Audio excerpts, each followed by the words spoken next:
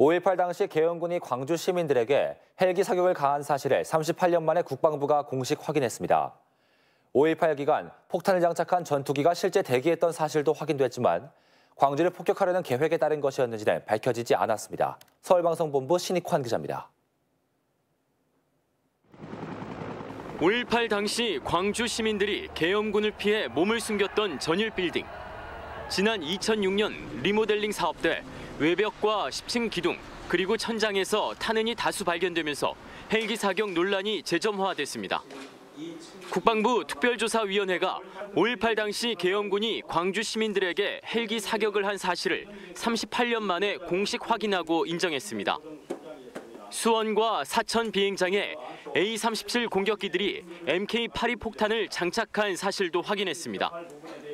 하지만 특조위는 실제 광주를 폭격하기 위한 목적으로 전투기가 대기했는지에 대해서는 최종 결론을 유보했습니다. 5.18 당시 공군 자료가 거의 없고 관계자들이 조사에 응하지 않아 명확한 결론을 내릴 수 없었다는 것이 이유입니다.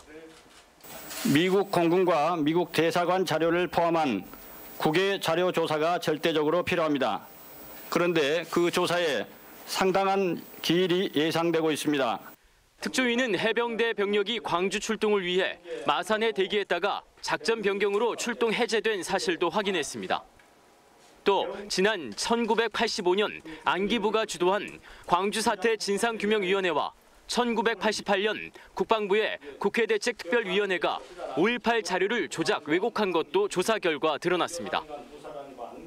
특조위는 명확한 진실 규명을 위해 5.18 특별법이 국회에서 조속히 통과돼 독립적인 조사기관의 성역 없는 조사가 보장돼야 한다고 제언했습니다.